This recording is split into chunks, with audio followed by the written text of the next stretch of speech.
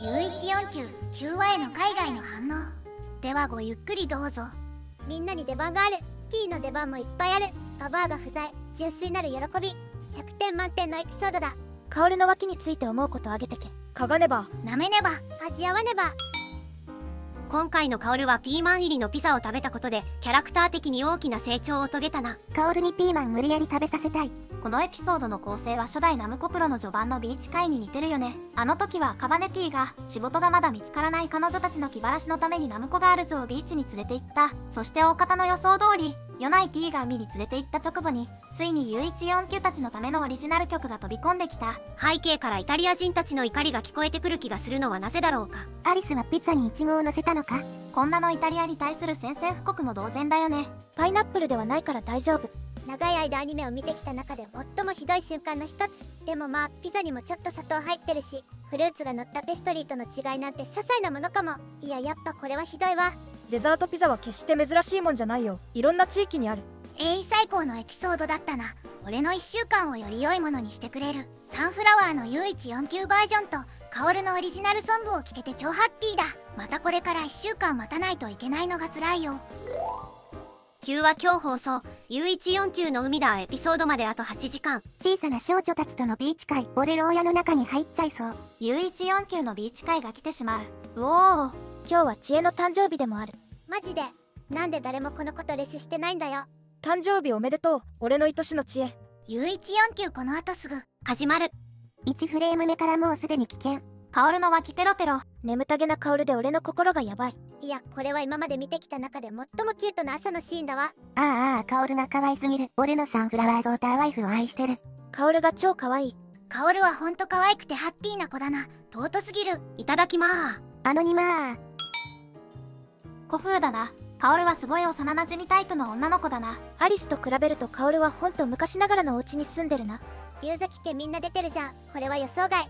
なんでカオルはいつも湧き出してるの？それがカオルがフェロモンを放出する一番の方法だから。匂いを想像しろカオルなら絶対にいい匂い。おもちゃのミニキッチン。俺の目もこういうの持ってるわ。俺の心がこのエピソードに耐えられないクソクソクソ。なあ今回カオルの可愛さの過剰摂取になりそうなんだがこのオープニングは聞くたびに俺の心を癒してくれるな。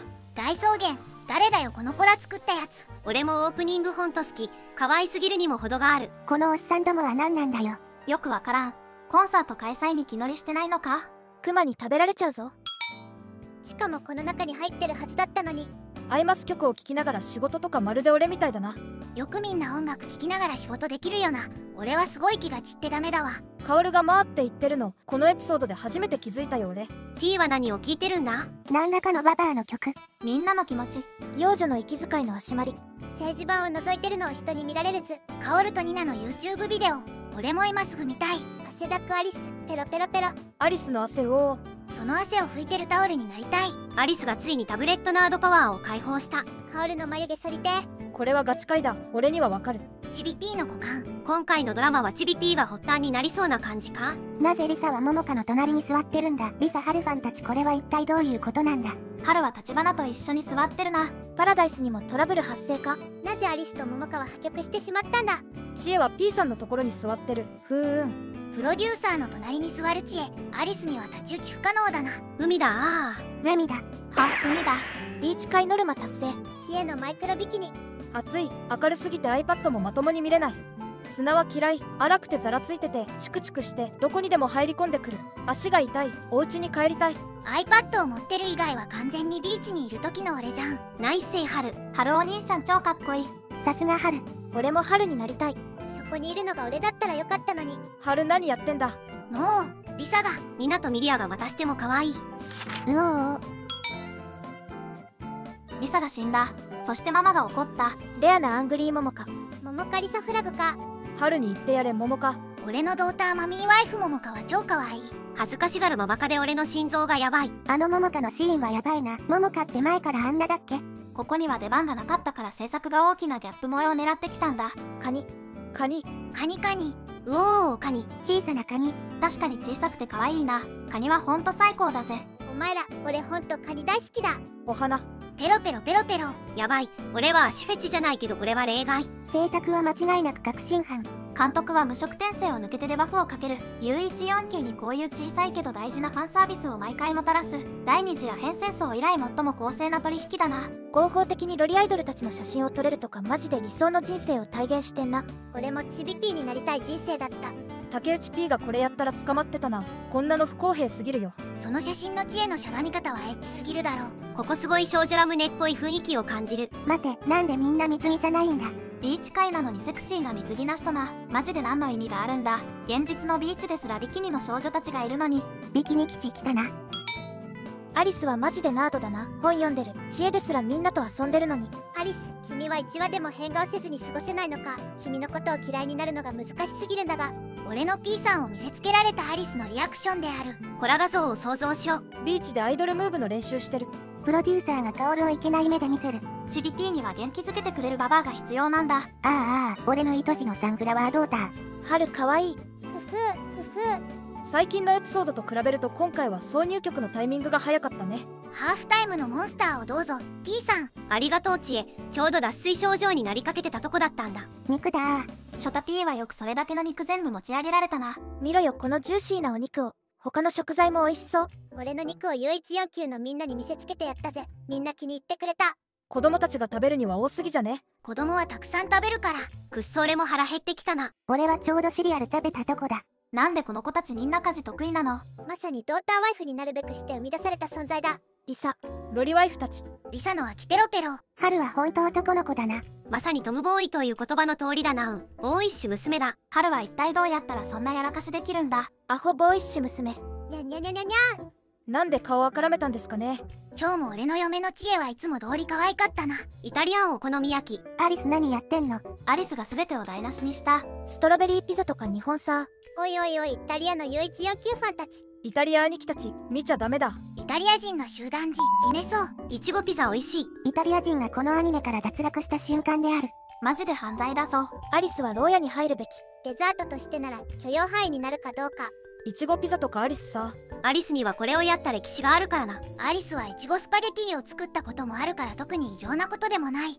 少なくともパイナップルピザではなかったから。でもパイナップルピザはうまいぞ。パイナップルピザはうまいんだよな。パイナップルピザはうまいとか上アリスはイタリア人のこと考えて。カオルのドラマはピーマンが好きじゃないこととかいい子すぎるだろう。マジで最高。カオルほんと愛してる。ガチで愛らしすぎる。来たぞ。カオルがプロデューサーのこと先生って呼んだ。やばい制作はマジでゲームでの仕様やキャラの変化をアニメに翻訳して持ってくるのがうまいわ。このコミック LO フェイスがよ。コミック LO の表紙絵がある。これがカオルの次のアイドルの仕事だ。やばい。カオルの笑顔は夜をも照らす。次は桃華がちゃまと呼ぶ番だな。レディーと書いてるのにビッチみたいな格好。なぜこんなことが許されるのか。俺のワイフドーターをそんな風に言うのはやめてもらおうか。レディをメスガキに変えたコラはまだか。レディーよりガールなんだよな。よく言った。俺はキュート派だな。でも千枝はクールだけどな。花火会。この足の絶妙な配置を。小春に俺の顔の上に座ってほしい。俺はアリス派だけど小春と結婚したい。ソックスとプリンセスシューズの組み合わせがエッチだ。これは何をやってるんだ？キラリを召喚しているのか？アリスの P。